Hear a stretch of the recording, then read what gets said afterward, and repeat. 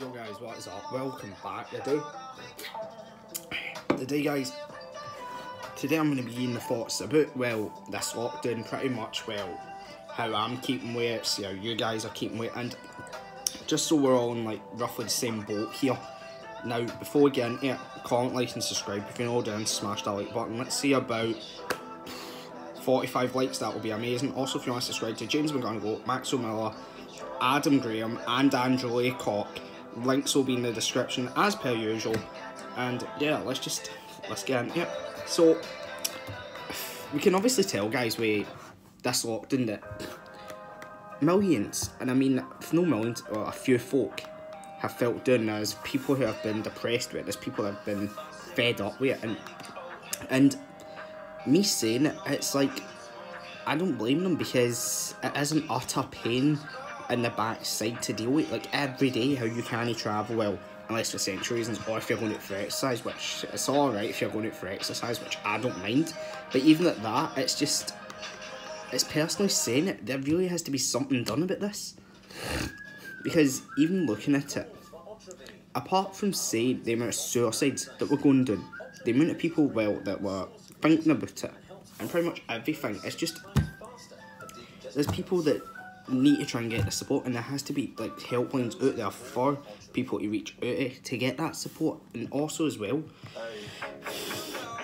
I know half these videos, well, I've done on this lockdown, I have done a lot with mental health, and I've done a lot of these videos in the past with last year's lockdown, and there's a lot of you guys that well obviously that was saying oh, alright like how like what happened with it all.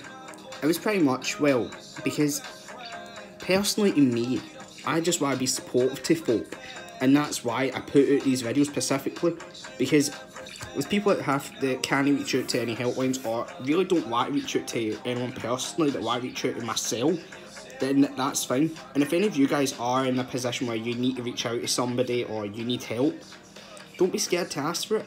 DM me at Boy Stop Patrick on Instagram, pboys13 on Snapchat. As well as that, you can go to like CAMS, Samaritans, pretty much any helpline. And I know half of them, well, don't do as good as what you expect, but it's like, it will get better because I know that, well, life is not really what we expect and we would have thought this would have been the end of the lockdown, but it will get better as life gets on, and we just need to keep being positive and thinking about it. Like, take me for example. I'm a guy that was always negative, and I'm trying to balance it in a way, but no really type going a lot of negative, just trying to balance it.